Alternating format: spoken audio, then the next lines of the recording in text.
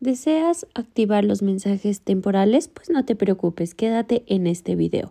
Muy bien, entonces en esta ocasión vamos a aprender a cómo habilitar mensajes que desaparecen en WhatsApp. Perfecto. Para ello nos vamos a dirigir a la aplicación de WhatsApp.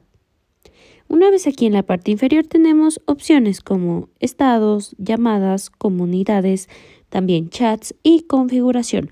Vamos a presionar la última, es decir, configuración, y aquí nos vamos a dirigir a la opción denominada privacidad.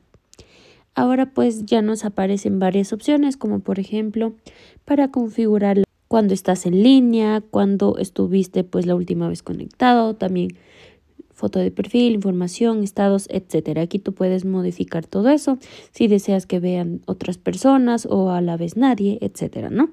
Pero en esta ocasión nos vamos a dirigir a la parte inferior y aquí tenemos la pues casilla que dice mensajes temporales y nos dice duración predeterminada. Vamos a dar un clic aquí y aquí pues ya nos dice inicia chats nuevos con una duración establecida para los mensajes temporales, como por ejemplo 24 horas, 7 días, 90 días y desactivada. Entonces vamos a poner por ejemplo 24 horas. Y listo, así de fácil y sencillo entonces vamos a activar los chats temporales. Después de las 24 horas, en este caso, pues los mensajes automáticamente se van a eliminar.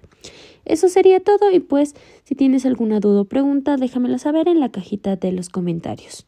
Sin nada más que decir, hasta un nuevo video.